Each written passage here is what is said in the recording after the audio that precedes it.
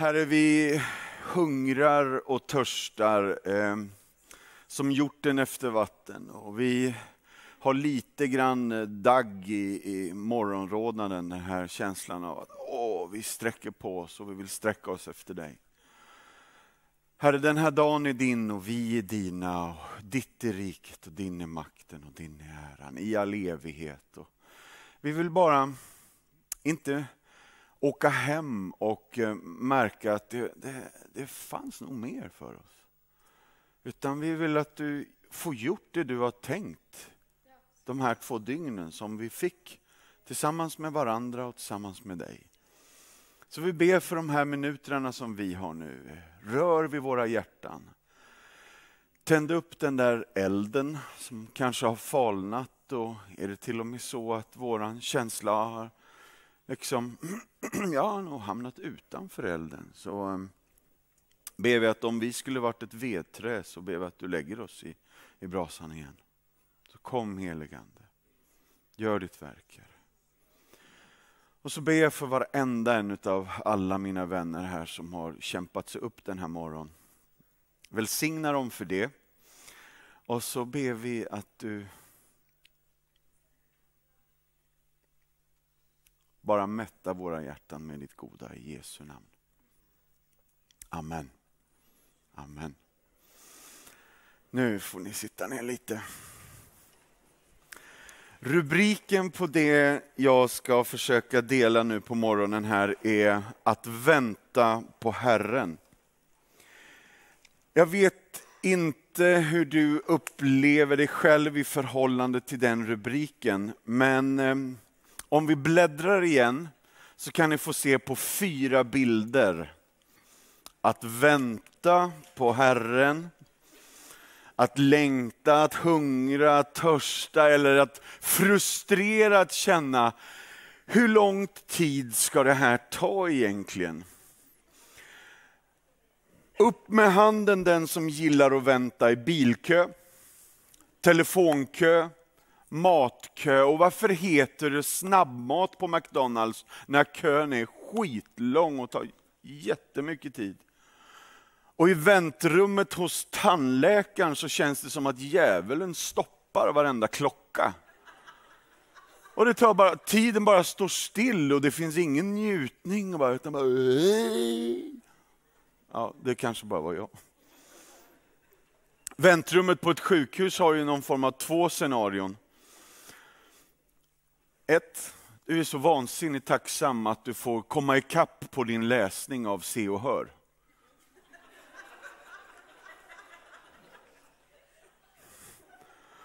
Två, du fungerar, funderar på kanske, ska jag fejka ett epilepsianfall för att få förtur? That's it. Alla väntar och ingen gillar att vänta.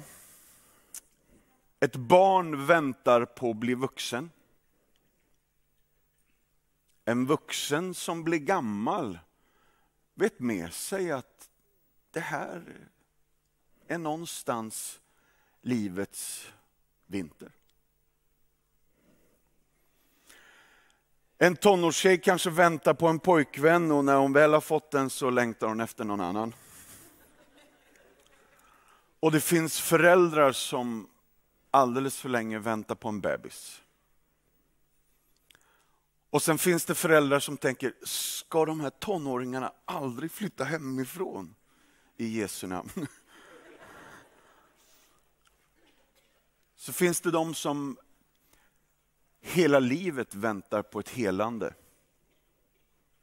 Som undrar, varför blev det aldrig av?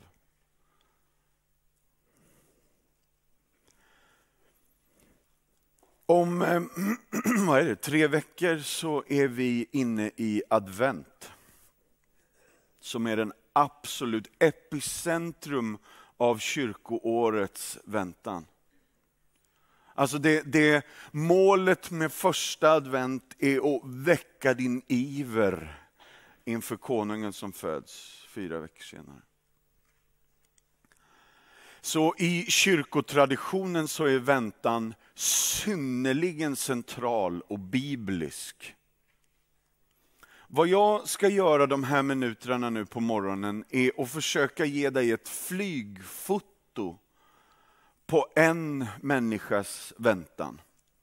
Men grejen är, ibland kan vi faktiskt spegla oss i den människan. Men risken finns när vi kommer till Guds ord, och det här står om i Jakobsbrevet, det är nästan som att vi tittar in i ett fönster och så går vi tillbaka till vår verklighet istället. Är ni med på vad jag menar? Att vi, liksom, vi läser texten och så, åh vad spännande, så här skrev han och så här tyckte Jakob. Ja, vilken härlig kille. Och så zoomar vi ut igen och tillbaka till vår verklighet. Så är inte Bibeln tänkt att läsas. För så är den inte ens skriven. Jakobs det är för tidigt. Jakobsbrevet är tänkt att spegla oss och Guds ord är tänkt att vara en spegel. De av er som inte är så fromma och har sett Harry Potter eller läst böckerna vet att han sitter uppe på vinden framför den där spegeln. I, I första filmen, första boken. Så sitter han framför spegeln och så ser han sina föräldrar. Som han knappt har mött, alltså han blev ju ja, bortbytt eller försvunnen. Ja, det hände grejer när han var liten. Kolla filmen istället. Men han känner ju inte dem, men när han ser dem så känner han, det här speglar mig. Det här är ju jag. Så han tar med sig Ron Weasley dit och vill visa sina föräldrar för Ron. Men Ron ser sig själv vinnande the Grand Cup Final. Överlycklig och bara, åh vad snygg jag är! Och jag vann kuppen! Därför att den här speglingen sker i deras djupaste drömmar. Deras djupaste längtan. Och på något sätt istället för att bara blicka in i någonting, så är min bön att vi ska våga kliva in i någonting. Och inte bara vara på besök i den här världen, utan när vi speglar oss i Habakuk eh, så är min bön att vi ska våga inkorporera, inkarnera, göra liv av det sättet att tänka som han faktiskt har. Vi ska göra eh, tre nedslag i Habakuk. I kapitel 1 och de första verserna, kapitel 2 och de första verserna och sen kapitel 3 de första verserna och sen gör vi ett avslut med de absolut eh, sista fraserna. Och vi börjar ifrån början. Upp med din bibel. Habakuk 1 och vers 2. Habakuk är för övrigt en liten profet. Det betyder inte att han är latino och kommer från Örebro och är lika kort som Mikael Hallenius. Utan det betyder att han tillhör småprofeterna bara. Men han har ett gigantiskt budskap. Han är en liten profet med ett stort budskap. Och i kapitel 1 och vers 2 står det så här. Hur länge, Herre, ska jag ropa utan att du lyssnar? Kalla dig till hjälp mot våldet utan att du griper in. Habakuk speglar mig, speglar dig, speglar oss och ger oss en bild av en frustrerad livssituation. Där allt inte är bra. Där är gängse ordningen, det här är, känns inte fräscht. Så någonstans redan i kapitel 1 av de här tre, det är en kort kille, har vi redan sagt, så upptäcker vi att det finns ett skav mellan det vi kallar eh, Guds rike och den faktiska verkligheten som Habakuk lever i. Så det här är någon form av Fader vår innan Fader vår. Tillkommer ditt rike. Förändra det här. Men i ärlighetens namn Gud, jag tycker, why are you taking so long? Där börjar det. Vi går till kapitel 2 så får ni se lite mer. Kapitel 2, vers 1. Jag ska ställa mig på min vakt. Gå till min post och spana. Jag vill se vad han ska säga till mig och vilket svar jag får på min klagan. Helt enkelt, Habakuk gör sitt vanliga jobb, han står på sin vanliga post samtidigt som han väntar på Herren. Och Det finns paralleller här, och det är psalm 130, vers 5 och 6. Jag väntar på Herren. Jag längtar. Jag hoppas få höra hans ord. Och jag längtar efter Herren mer än väktarna efter morgonen, än väktarna efter morgonen.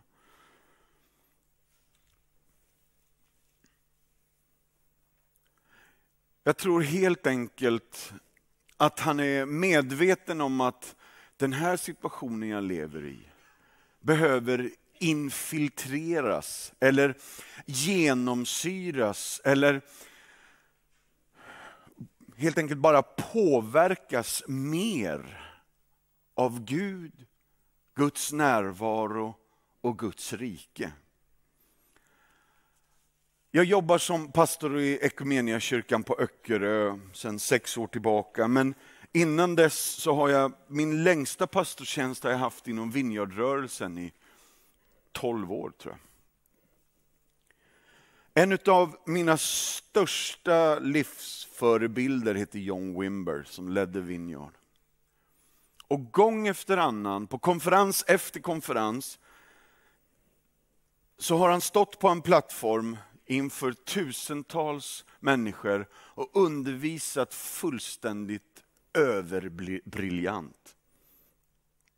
Och när han är klar med det så har han sällan gått och satt sig bara.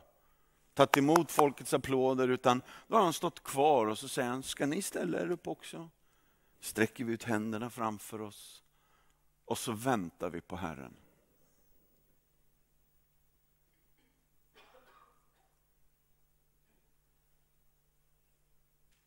Märker ni att bara den här lilla tystnaden jag gjorde nu, vad kan det ha varit, 20 sekunder, det blir lite annorlunda stämning i rummet. Folk undrar, vad händer nu? Va? Vad gör vi? Vad gör han? Tog han paus? Tänker han på vad han ska säga? Han kanske inte har fått tillräckligt med frukost.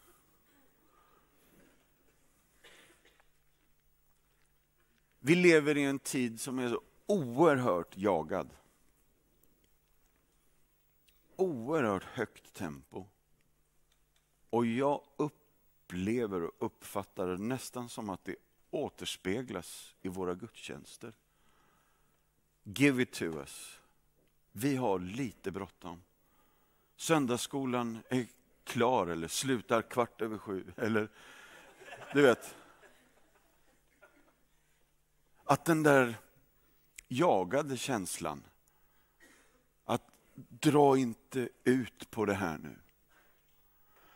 Och gång efter annan så kunde John Wimber stå där i 10, 15, 20 minuter och bara vänta.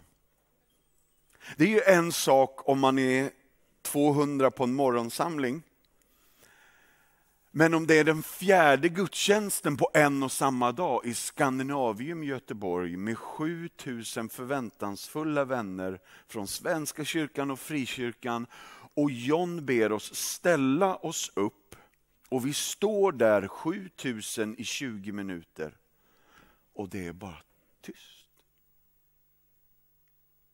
Då händer något annat i rummet. För det första så händer det här hos mig. Men det andra är också att det, det sker någonting med oss i den där väntan. Som vi allt för sällan vågar snudda vid. Att bara liksom dröja kvar. Gamla ord här, bida. Att inte liksom ha nästa moment och försöka skapa en flashig och upptempo-show som folk går på, levereras och sen är det klart och slut och tack för det.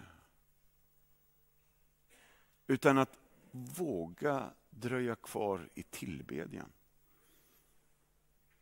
bara stanna upp lite. Inte bara att den här låten har intro, vers, refräng, mellanspel, vers, refräng, dubbelrefräng. Eh, C-del, den här eh, kodan och sen tar vi om den fyra gånger och sen tar vi en soft refräng och sen är det outro. Utan mer, Herre, vart är det här på väg nu? Vart är det här på väg idag? Och är det, är det säkert att vi ska göra så här eller så där? Eller är det per automatik de här formerna som skapar friheten? Eller är det så att det finns ebb och flod i en gudstjänst? Där man faktiskt har dynamiken, nu kan vi smacka på. Nu kan vi liksom öka BPMen och fira. Eller nu behöver vi sänka nivån här och nu kanske vi bara får låta församlingen sjunga ut. Vi tar bort kompet och bara backar en liten stund och väntar på Herren tillsammans. Det behöver inte vara så att allt är färdigskrivet och planerat. Men grejen är, om inte du och ditt lovsångsteam förväntar er det oväntade så kommer ni inte att skapa rum för det heller. Vi tar det igen, för det är tidigt. Om inte du och ditt lovsångsteam förväntar er det oväntade så kommer ni heller inte att skapa rum för det. Tack! För, för vad som händer annars är att jag har en liten, och nu är jag försiktig med orden här, men jag har en liten autopilot. Jag har gjort det jag gör så pass länge så jag vet på ett ungefär hur det ska göras. Och jag är medveten om att det här låter lite fult nu. Men ni är med på vad jag menar hoppas jag. Men att jag på något sätt är så ungefär, ja, ni hör ju, jag har inga ord för det. Det är på något sätt, jag, jag vet ungefär om vi gör si eller så, eller om vi går hit nu eller så där. Men om jag vågar planera för det oplanerade. Om jag vågar skapa rum i det här stora, förväntansfulla och den här känslan av att nu samlas vi till gudstjänst och så är i ärlighetens namn, jag är lite splittrad. Därför att lovsångsteamet var försenade och ljudtekniken kom inte i tid och de fick inte kaffe och han har inte sovit ordentligt. Och jag minns en period när vi planterade Göteborg Vineyard och min svåger var ljudtekniker och nybliven småbarnsförälder och satt bakom mixerbordet och somnade. Mitt i gudstjänsten, du vet. Och du vet, in, inte bara att han somnar och lutar sig bakåt, utan han somnar och liksom på reglarna så här.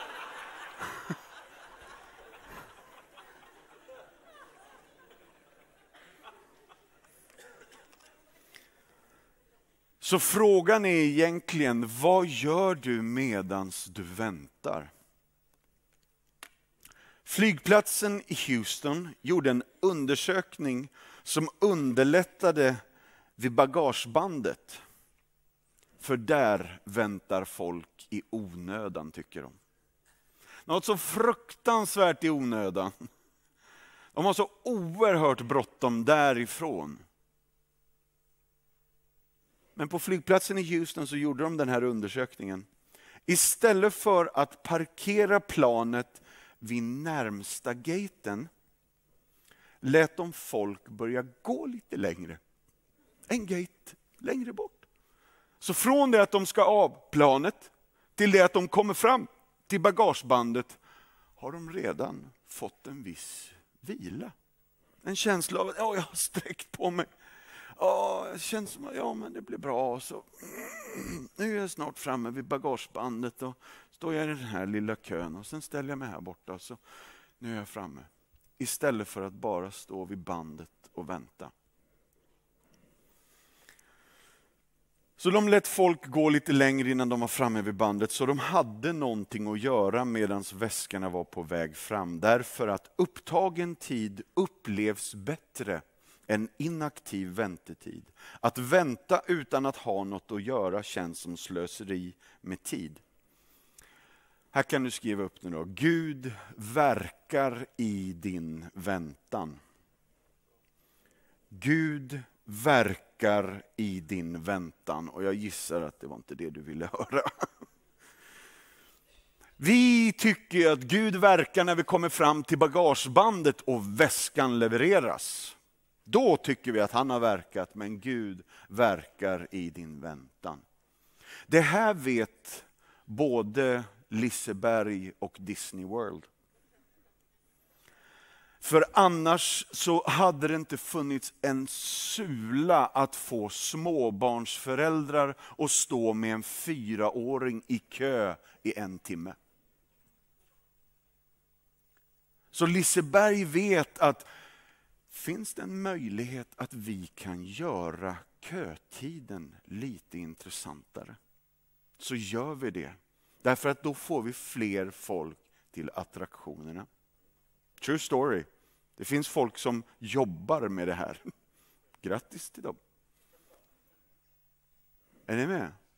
Så Gud verkar i vår väntan. Ska ni få ett Magnus Malm-citat från boken Kännetecken från 2013. Bön är en ömsesidig närvaro, Guds och människans. Av dessa två så är den senare det större problemet. Guds närvaro är konstant, odelad och ofrånkomlig. Vår närvaro däremot, ja det är en ganska splittrad historia. Jättebra sagt. För det första så tycker jag det är kul att han säger, så av dessa två är den senare det större problemet. Han erkänner ändå Gud är ett litet problem. Men grejen är, det är mitt oroshjärta som är problemet. Att jag är så jagad. Bara av den här, där jag tänker, ja, men jag har ju bara klockan på den här. Men verkligheten är att samtidigt som jag ser klockan här, så händer allt möjligt på Instagram här. Är ni med? Skapar en viss eh, distraktion från mitt möte med dig. Så mitt oroshjärta är en splittrad historia. Och jag gillar att han säger vår närvaro däremot är en ganska splittrad historia. Därför att vi är på, e-, i en mening här, men inte riktigt närvarande. Så jag kan gå på gudstjänst, men det är inte nödvändigtvis så att jag är på gudstjänst. För min tanke är någon helt annanstans.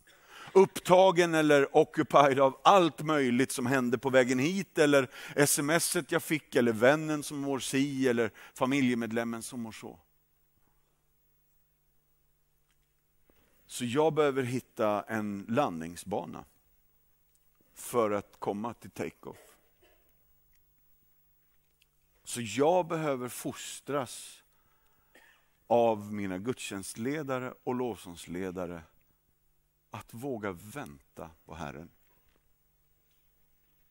Att inte jaga vidare från sång till sång eller utan helt enkelt våga dröja lite oftare för att motverka den här tidsandan som jagar på. Vi tar Herrens svar till Habakuk i kapitel 2, vers 2 och 3 nu då.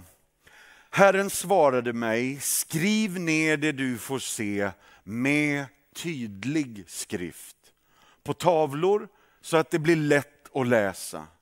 Ty synen vittnar om den bestämda tiden, den talar om slutet, den slår inte fel. Om uppfyllelsen dröjer, vänta tåligt den kommer förvisso, den uteblir inte. Tack snälla Habakuk för hjälpen. Det här är ju guld.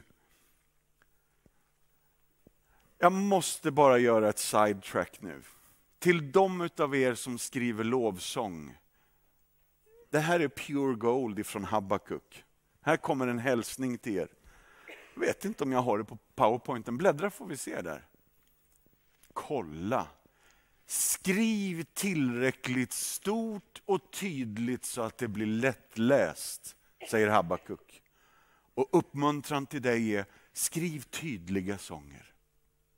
Hjälp oss att förklara stora eviga andliga sanningar som blir tydliga och uppenbara för oss.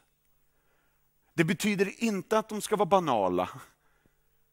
Vi kan ta nästa faktiskt. De här hör ihop alla tre. Habakuk säger, skriv med klarhet så att det blir begripligt och förståeligt. Helt enkelt, skriv enkla sånger. Men han säger inte, skriv triviala sånger. Men han säger, skriv enkla sånger. Aha, det ska bara vara tre ackord. Nej, det är inte det han är ute efter. Utan sånger som når fram sånger som får kontaktyta, där vi med C.S. Lewis känner, jaså, var det inte bara jag som kände så, utan även du? Den kontakten. Att vi får en igenkänningsfaktor i sången, att de orden du sjunger nu, det är min bön också. Då har vi skrivit tydliga och enkla sånger. Och trean är, skriv så att folk kommer föra budskapet vidare till andra. Helt enkelt skriv sjungbara sånger. Och esteten i oss vill ju skriva precis som jag själv vill och det ska vara sådär. Men hjälp både dig själv och kyrkan genom att skriva sjungbara sånger Alltså sånger som går att lära ut till andra. Det betyder inte att de måste vara supersimplistiska, utan att de helt enkelt bara går att sjunga i en församling. Om det är det som är sångens avsikt. Annars får du skriva hur du vill. Men vill du att vi andra ska sjunga med, så får du hjälpa oss med melodin. Habakuk är pure gold på de här tre och det går ju att diskutera och samtala om hur länge som helst. Men helt enkelt, vi hinner inte mer. Ta dem där bara. Nu bläddrar vi igen. tar vi de sista verserna. Habakuk 3, vers 17-19. Fikonträdet knoppas inte. Vinstocken bär ingen frukt. Olivskörden slår fel, fälten ger ingen gröda, fåren är borta ur follan och hängnen är tomma på kor. Men jag vill jubla över Herren. Och nu måste vi bara göra en paus här. Här känner du igen 1917 års översättning bättre. Herren, Herren är min starkhet, står det. Jag vill jubla över Herren, glädja mig över Gud min räddare. Herren, min härskare, är min styrka. Han gör mig snabbfotad som gasellen och jag kan löpa över bergen. För körledaren till stränga instrument. Nu du! What? Skojar han med oss? Ärligt talat, vill han att vi ska sjunga det här? Ja. Och det har vi gjort i flera tusen år.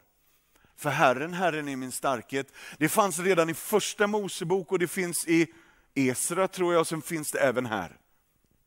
Så gång efter annan återkommer det här i kyrkohistorien tidigt och säger det här är bra skit att sjunga. Det är riktigt viktigt att vi sjunger det här, för det här är sant. Det här är den verkliga verkligheten. Nu har Habakuk inte bara konstaterat att det är si och så med världen och vi hoppas på Guds rike och håller tummarna och det blir någon gång i framtiden och you get pie in the sky when you die. Utan Habakuk säger, tillkommer ditt rike och ske din vilja här på jorden så som i himlen. Gode Gud, förändra det här. Det är min sång. Så varje saltarsalm inleds med att säga den här är för körledaren, eller den här är för diktaren, eller den här är för full orkester, eller den här lirar du till en hittitt, eller vad det nu är. Alla möjliga märkliga instrument finns det där. Som inleds i saltaren, men Habakuk han avslutar hela sin skrivelse med att säga, sjung det här. Och jag känner, snälla Habakuk, gå till doktorn, förklara hur du mår. Han kommer ge dig en liten tablett. Den kommer hjälpa dig. Det här mörkerseendet som du är inne i, kanske inte är läge att sjunga om det nu. Och Habakuk sållar sig till profeter i Gamla Testamentet. Jag skulle nog säga att Jobb är den tydligaste. Är det 42 kapitel eller något sånt där? I kapitel 19 så vet fortfarande inte Jobb, är det Gud eller djävulen som ligger bakom det jag går igenom just nu? När han ställer sig den frågan, i nästa andetag så säger han, jag vet min förlossare lever.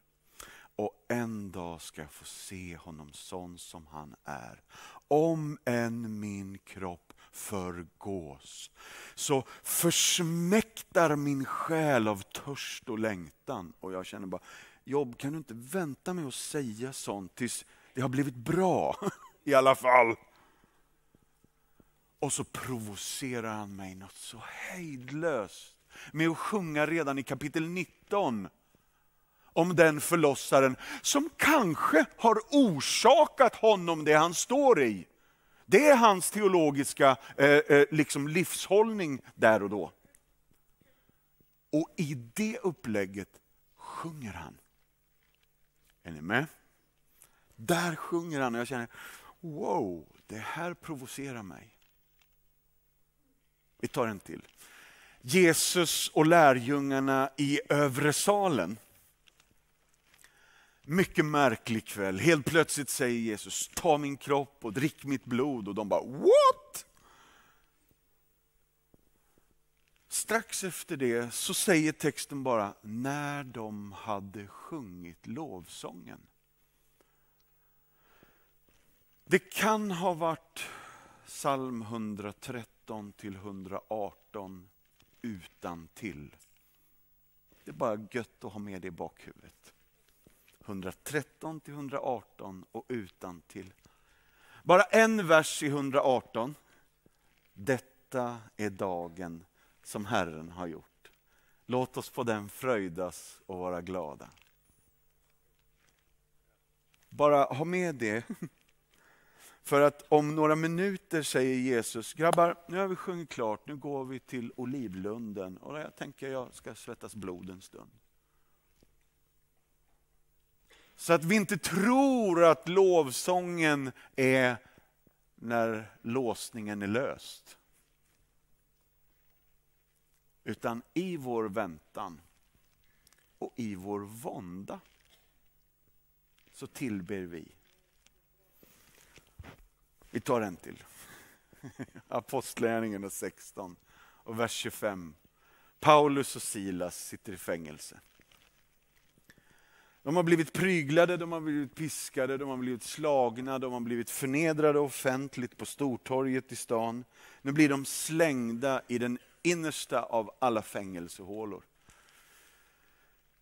Alltså, det är ju bara för de absolut grymmaste, grövsta liksom, stövlarna. Och så är deras fötter låsta i stocken. Och tydligen på romersk tid så satt stocken på väggen, vilket betyder att fötterna är på väggen och ryggen är på golvet. Och ryggen är sönderslagen. Och så står det vid midnatt.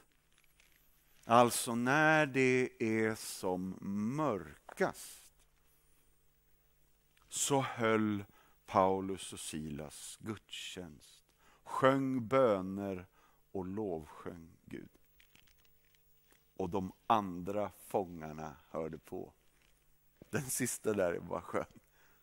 De andra fångarna hörde på. Ska du eller jag ta tenoren? Ska vi höja en halv? Ska vi höja en hel? Vilken vill du ta nu? Min jukebox är slut Silas. Har du någon sång på lager? Och där höll de på och de andra fångarna hörde på dem. För körledaren till stränginstrument.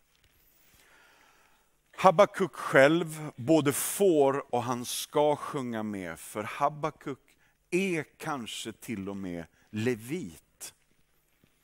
Det här är en unik musikalisk uppmaning som Bibeln ger oss.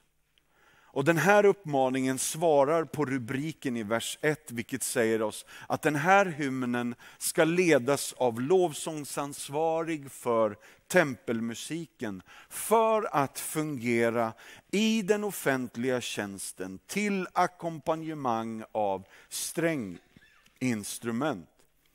De här anvisningarna finns ju regelbundet i Saltaren, men då ligger de först och inte sist.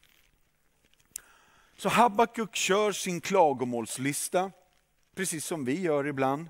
Och när han väl väntar så håller han ut igenom, din svåra, igenom det svåra, precis som vi gör. Men så reagerar Habakuk här, precis som vi borde. Det här är snyggt. Han sjunger så att han didaktiskt kan minnas Guds löften. Och hans sångtexter påminner honom, men det påminner också Gud om Guds karaktär. Gud, jag vill hålla dig vid den du har sagt att du är. Igenom också detta har du lovat att vara trofast. Så han tillber, han tackar, han talar med sin Gud, inte om sin Gud med andra, utan med sin Gud. Och han ber honom om svar. Jobs vänner har ju en faslig massa svar på Jobs problem.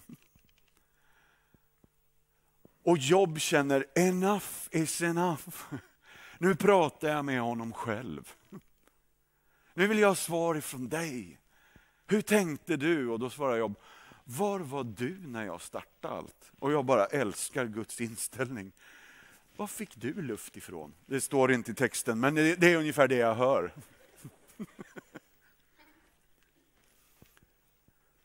Så Habakuk han väntar trofast och troget på Guds svar.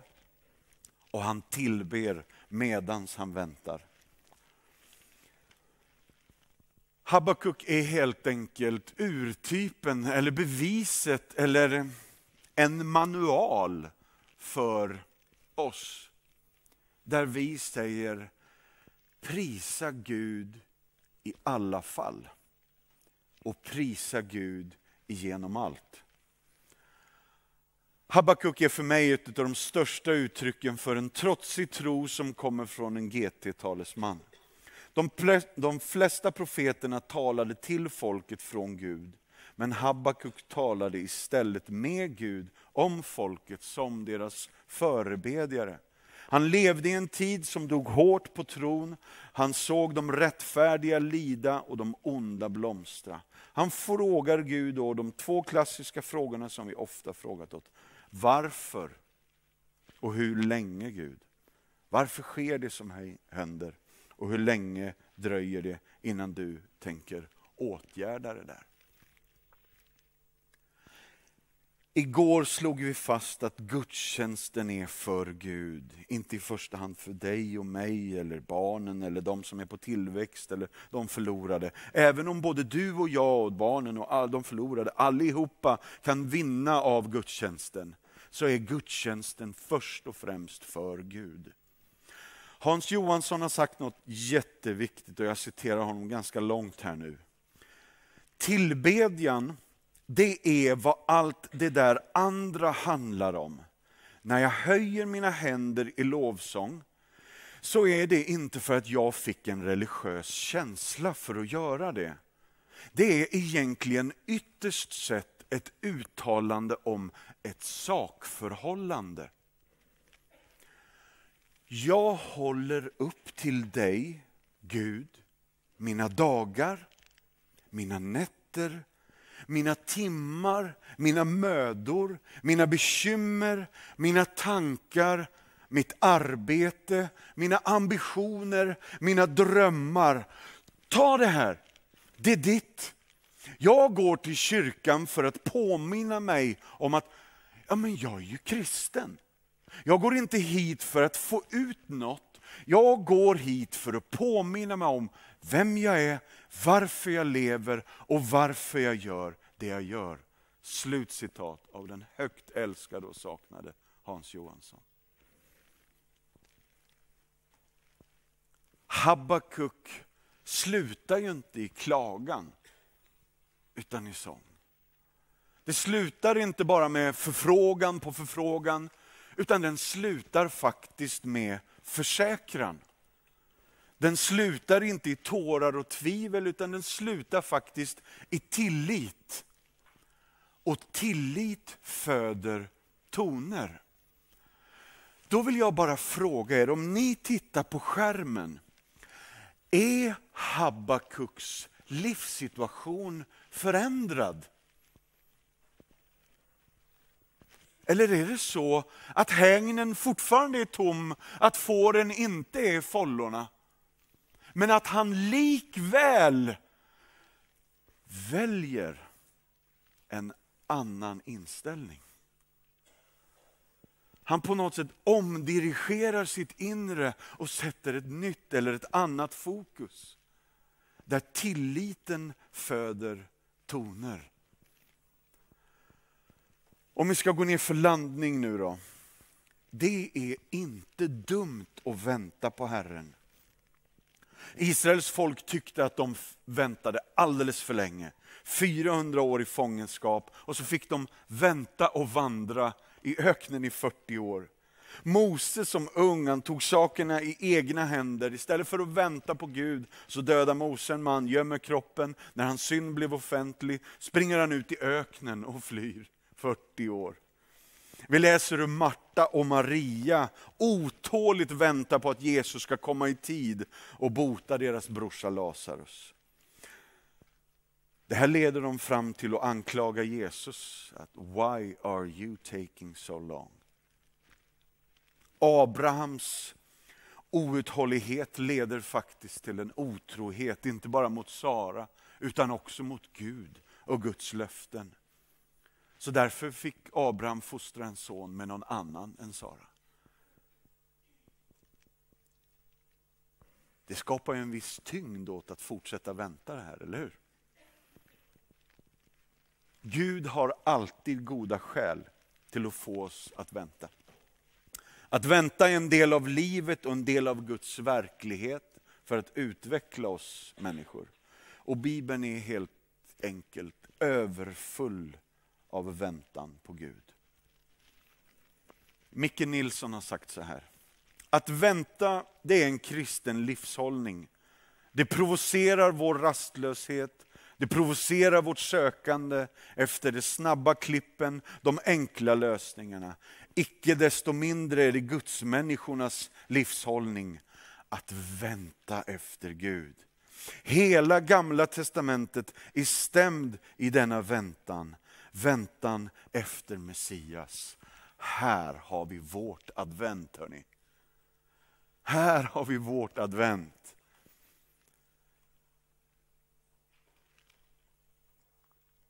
Jag måste bara läsa för er om Symeon i templet som väntar på Israels tröst. Och Hanna i templet som tackade och prisade Gud och talade om barnet. För vilka då? För alla de som väntade på Jerusalems befrielse. Så, hur gjorde Habakuk sin resa nu då? Kapitel 1. Habakuk börjar i dalen. Han suckar och han tillber i turbulenta tider. Kapitel 2. Han klättrar upp i tornet, helt enkelt, han söker. Det är tillbedjan i tillit och tro. Och tro betyder utan åskådning, helt enkelt, jag har inte sett, men jag tillber i tillit ändå. Och kapitel 3, Habakuk slutar på berget. Han sjunger en tacksam tillbedjan som trotsar och triumferar överallt. Jag säger inte att det här är Habakuks hela livsresa. Och att så här ska trajectory på ditt liv se ut. Vi har bara några år av Habakuks liv här. Men igenom allt detta så bestämmer vi oss för en hållning. En inre kompass som vi ständigt behöver, liksom, när man med telefonen så här ska kalibrera den här igen. Så att jag hittar my true north och att vänta på Herren.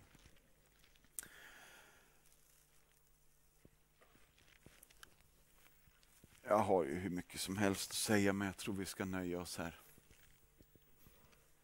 Jag tror vi ska ta de här sista minuterna innan det blir fruktstund och kaffekvart för de som behöver. Om vi kan lägga undan blocken och mobilerna och kanske bara sträcka ut händerna framför oss.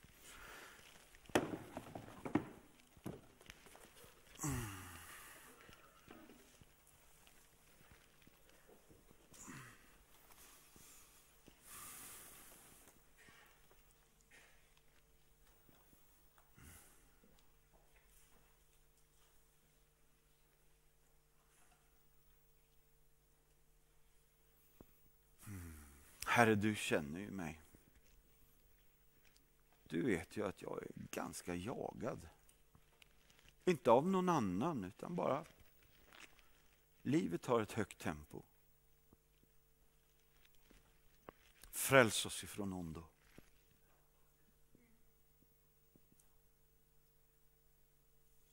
Herre, vi ber att du gör oss till modiga människor som inte räds tystnaden.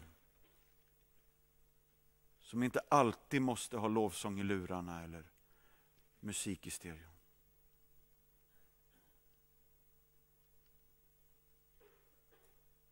Herre, gör oss till folk som vågar dröja kvar. Att inte skynda i onödan, utan att bli bättre på det där som vi måste googla, bida.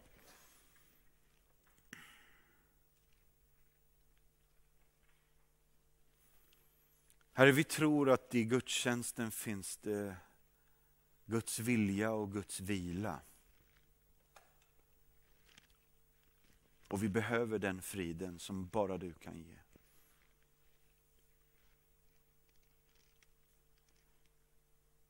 Herre, den stillhet, den stillhet som kommer över min rastlösa själ när din ande får tillträde och utrymme och när din ande får tid att verka i mig. Det finns inte någon annanstans. Och vi tror på fullaste allvar att det är det som världen behöver. Det är det som världen söker och så krampaktigt strävar efter.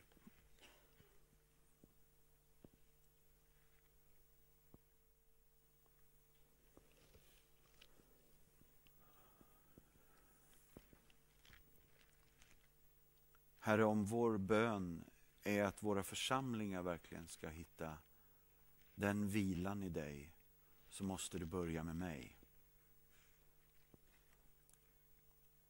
Om vi i vår lovsångstjänst ska hjälpa andra så får du hjälpa oss, Herre.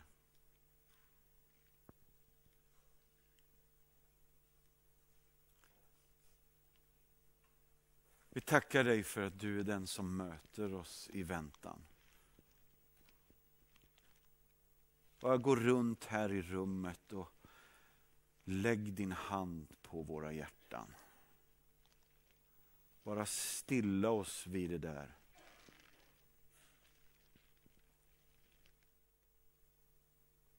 Vi ber att vi ska få höra dina ord. Min frid ger jag er. Jag ger er inte det som världen ger. Känn ingen oro.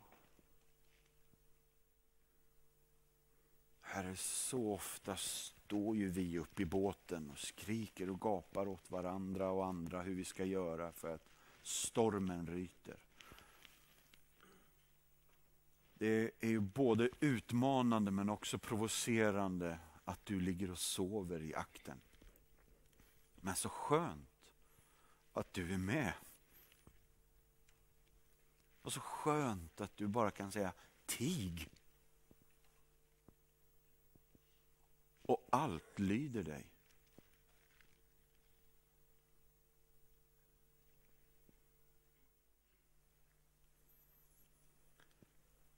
Var kvar i bön. En författare som heter Sue Monk Kid hon gick i kloster på retreat och där såg hon en stillasittande munk under ett träd. Och lite senare så klev hon upp till honom och tog mod till sig och frågade hur kan du vara så stilla i ögonblicket? Jag har så svårt att göra inget. Då log munken brett och tittade henne rakt in i ögonen. Och så svarade han, där har du ditt problem unga damen. Du har gått på den kulturella myten att du i din väntan inte gör något. Jag hoppas att du hör nu vad jag ska säga dig. Jag vill att du hör det här ända ner i tårna. När du väntar så är du inte overksam. Du gör detta något, detta viktigaste som finns, nämligen du tillåter din själ att växa upp.